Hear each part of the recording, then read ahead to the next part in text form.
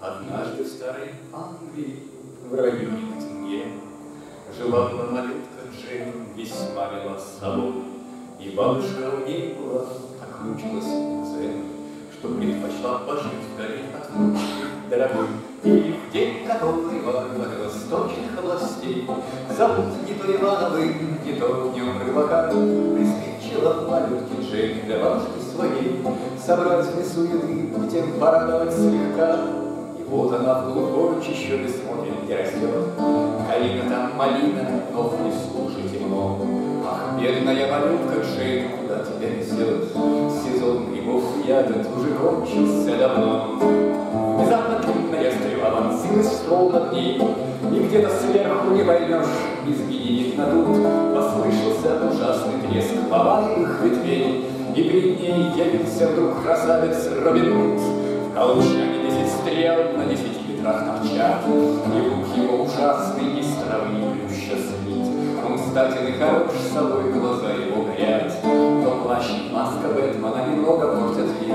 Скажи, прелестное дитя, повел речь свою,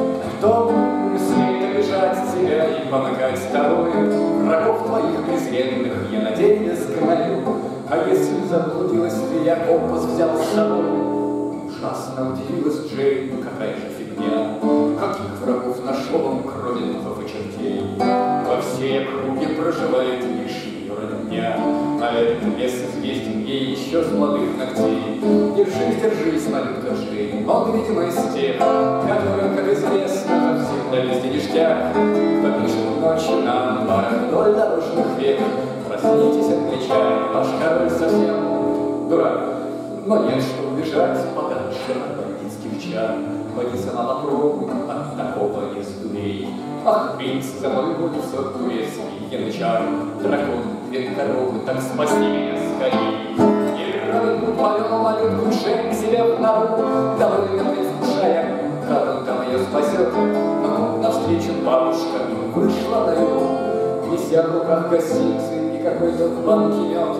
И Робин Гуд, красавец во дворе, оживший миф, Внезапно побледнел, как полотно, сполз с лица, Злобными, ужасными, шериф, шериф, шериф, Умчался в темный лес, и след простыл от молодца.